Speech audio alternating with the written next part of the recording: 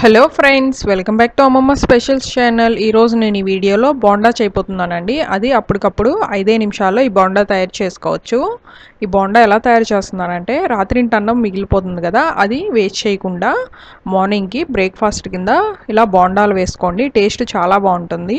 ఈ వీడియో చూసి ఒకసారి తప్పకుండా ట్రై చేయండి. ఇప్పుడు ఎలా తయారు చేయాలనేది చూపిస్తాను.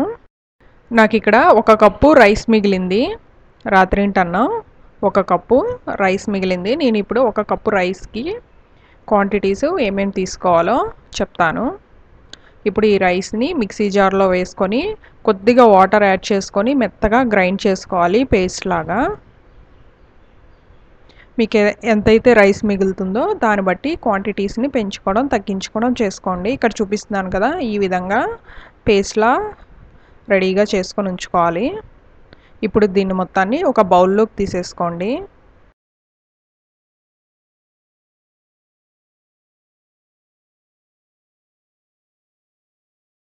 ఇదంతా బౌల్లోకి వేసుకున్న తర్వాత ఇప్పుడు మిక్సీ జార్లో ఒక రెండు పచ్చిమిరపకాయలు అలాగే చిన్న అల్లం మొక్క ఇక్కడ చూపిస్తున్నాను కదా ఈ సైజు అల్లం మొక్క తీసుకొని ఈ రెండింటిని కసాబిసగా మిక్సీకి గ్రైండ్ చేసుకోవాలి. ఈ విధంగా గ్రైండ్ చేసుకున్న తర్వాత మనం ఇందాక ముందుగా రెడీ చేసుకున్నాం కదా అన్నం పేస్ట్ దాంట్లో ఈ పచ్చిమిరపకాయల పేస్ట్ వేసుకోవాలి. ఇది వేసేసుకున్న తర్వాత పావు టీ స్పూను పసుపు వేసుకోవాలి.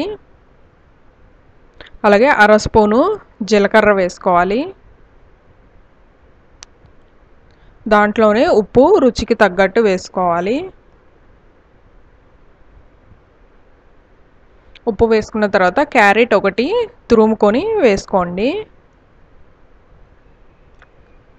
క్యారెట్ వేసుకున్న తర్వాత కరివేపాకు ఒక రెండు రెమ్మలు వేసుకోవాలి. కరివేపాకు వేసుకున్న తర్వాత దాంట్లోనే కొద్దిగా కొత్తిమీర కట్ చేసుకొని వేసుకోండి.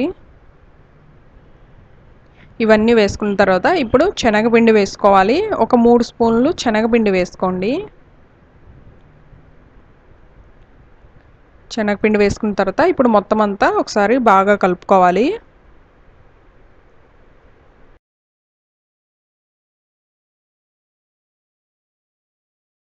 మొత్తం అంతా ఒకసారి బాగా కలిపిన తర్వాత ఇప్పుడు లాస్ట్లో ఒక స్పూన్ రవ్వ వేసుకోవాలి. బొంబాయి రవ్వ ఇది. ఇది ఒక స్పూన్ వేసుకొని మొత్తం అంతా మళ్ళీ ఇప్పుడు ఒకసారి బాగా కలుపుకోవాలి. నేను ఇక్కడ వాటర్ ఏమీ యాడ్ చేయకుండానే మొత్తాన్ని కలుపుకున్నాను.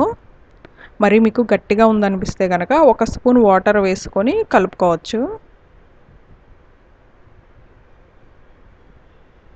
ఇలా మొత్తం అంతా కలుపుకున్న తర్వాత ఇప్పుడు మనం చేత్తో తీసి ఇలా చిన్న చిన్న బోండాలా వేస్తే ఇలా రౌండ్గా చేసినప్పుడు ఇలా బాగా వస్తే కనుక మనకి కరెక్ట్గా ఉన్నట్టు ఇది. ఇక్కడ చూపిస్తున్నాను కదా చూడండి ఒకసారి. ఇలా చేత్తో తీసి ఇలా వేయడానికి వీలుగా ఉంటే మనకి ఇది కరెక్ట్గా ఉన్నట్టు.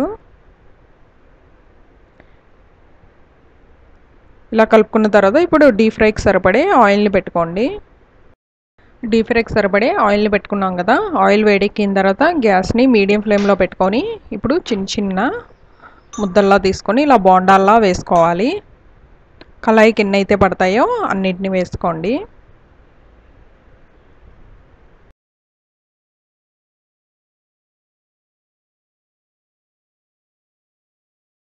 ఇలా వేసుకున్న తర్వాత వెంటనే గరిటె పెట్టి తిప్పకుండా ఒక నిమిషం తర్వాత గరిటె పెట్టి అటు ఇటు కలుపుకుంటూ వీటిని డీప్ ఫ్రై చేసుకోవాలి.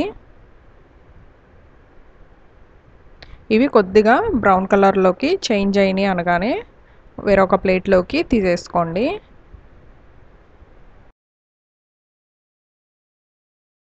ఇక్కడ చూపిస్తున్నాను కదా ఈ విధంగా కలర్ చేంజ్ అయిన తర్వాత ఒక ప్లేట్లోకి తీసేసుకోండి.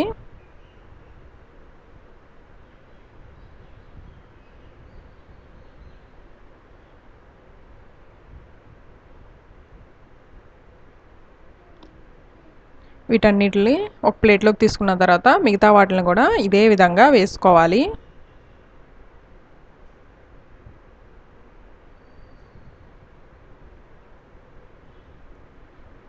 చూసారు కదా చాలా ఈజీగా మనకి అప్పటికప్పుడు బోండా రెడీ అయింది. ఎప్పుడైనా సరే అన్నం మిగిలిపోతే రాత్రి ఇంటి అన్నం పడేయకుండా ఇలా ఒకసారి బోండాలు ట్రై చేయండి. చాలా బాగుంటుంది టేస్ట్ కూడా.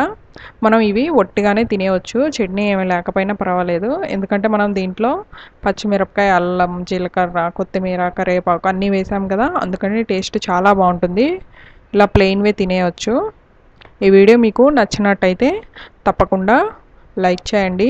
అలాగే నా ఛానల్ సబ్స్క్రైబ్ చేసుకోకపోతే సబ్స్క్రైబ్ చేసుకోండి. బాయ్.